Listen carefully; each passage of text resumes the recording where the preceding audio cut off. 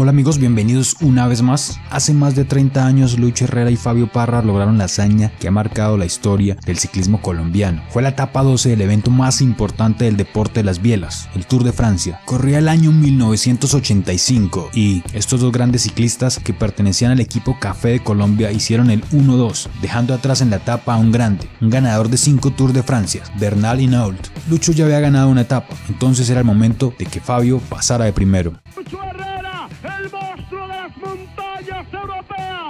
El hombre que clava banderas colombianas en lo alto, viene para la segunda posición, Lucho Herrera, Julio, Julio.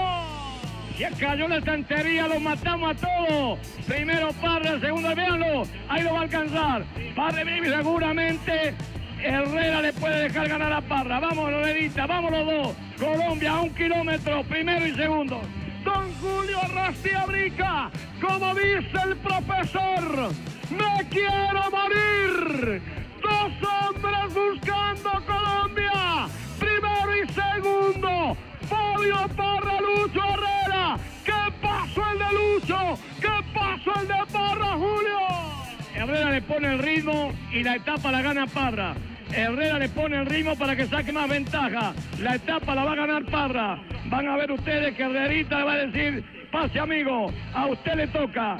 Ahí vamos, primero y segundo. Y nos faltan más, y nos faltan más. Van a pasar bajo la pancarta, van a pasar bajo la pancarta de los últimos 800 metros para el sitio de meta. Lucho Herrera de Colombia, Fabio Parra se pega su rueda. Herrera de Colombia, Parra, Herrera, Parra, Herrera, dos banderas de Colombia, primero y segundo lugar. Todo el mundo está conociendo esta victoria, todo el mundo lo respeta en las alturas, todo el mundo respeta a Herrera y Parra Julio. Día de gloria para Colombia. Parrita con todo. State entero. Vamos que los matamos. Los mató, los mató, los mató, los mató, los mató, los mató. Cómo no, don Julio Arrastea Rica. Van a ingresar sobre la pancarta. Le ubica los últimos 100 metros, 500 metros en este instante. 500 metros para el sitio de meta. Julio Arrastea Rica van a ingresar sobre la línea de embalaje. Julio. Día de gloria para Colombia. Parra va a ganar la etapa. Herrera da el segundo y los demás que lleguen como puedan. Que me alisten en Colombia el himno nacional de la. República de Colombia. No hemos ganado el Tour, pero Herrera y Parra van a coronarse primero y segundo en las cumbres del mundo, Julio. Es el único corredor que subiendo suelta las manos. Va a ganar Parra.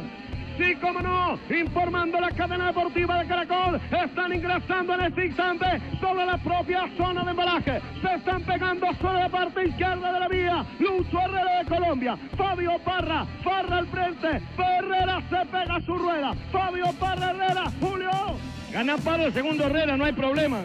Sí, señor, están tomando la última curva sobre la vía. Colombia se pone primero y segundo en el premio de montaña de segunda categoría y sitio de meta, Julio.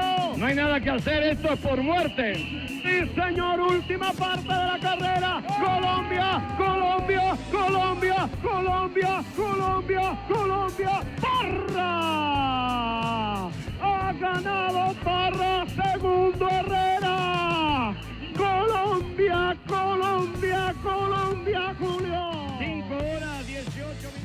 Si recuerdas esta hazaña o si se te pone la piel de gallina al escuchar estas narraciones, dale un like al video. Gracias por ver el video y recordar tan buenos momentos. Espero se suscriban, comenten un mensaje para todos estos grandes e históricos colombianos. Chao señoras y señores, hasta una próxima batalla épica del ciclismo.